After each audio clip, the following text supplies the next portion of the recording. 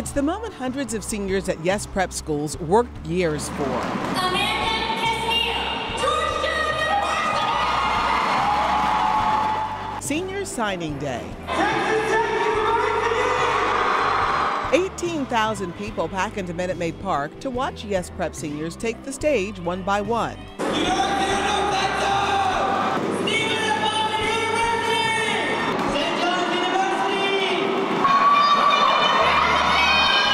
Each announces where they'll go to college.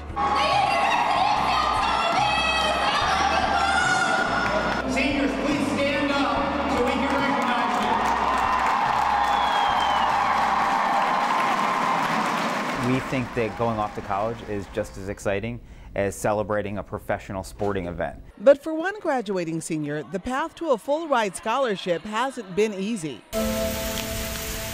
Betia Eleni's home was devastated during Hurricane Harvey. And it's also in the kitchen. She, her parents, and her two brothers were trapped inside their house in Pasadena as floodwaters began pouring in. We all just kind of like huddled up in my mom's bed because that was the only high place we had. We didn't know what we were going to expect, if there was going to be anyone who's going to come save us, or if there, we're just going to have to wait until it all calmed down. Everything they had was destroyed. Our car was submerged underwater. There was mold in the house.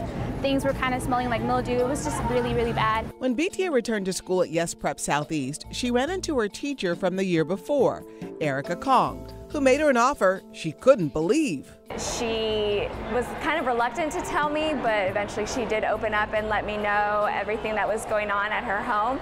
We had the space at, at our house, and I, and I offered it to her and her family. BT and her family, who immigrated from Mexico, all moved in with Miss Kong and her fiance in their Heights home. If you have the means to help someone, you should help them. That's just always how I've kind of lived my life, and so I just felt like that was the right thing to do. Miss Kong pitched in to help the family who lost their car during the flood. I would take them to school every day, every morning. And through it all, Betia helped translate for her parents, who speak mostly Spanish, during the rebuilding process. So I had to translate, help with the inspector in the house, go back to the house, try to take out all the junk that's in there, and then try and also go to school. It took nine long months, but now Betia and her family are finally back inside their own home. It's not at, at its tip-top shape as it used to be, so there's still things that we're missing, like we're still missing the living room. There's not really much place for you to sit if you come over. We're just kind of like on boxes, on top of boxes. But we try to make the best of it. The next day after they had left, it felt really weird to like have like no one in the house. Even though it's been the hardest year of her life, Betia powered through four advanced placement courses and is graduating in the top 10% of her class. This was the moment she's been waiting for all year.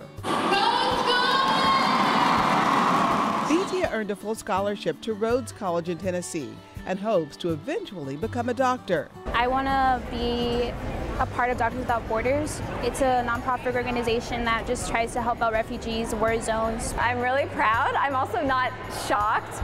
She's the kind of student that every teacher would love to have in the classroom. Like I would just would have loved to have a classroom full of Bethias. It would have made my job so much easier. We often talk about, yes, how we are a family-oriented school, and in my mind, this is exactly what that means. You had a teacher who saw a need, and acted. Now, this teacher and her former student have a bond that goes far beyond the classroom.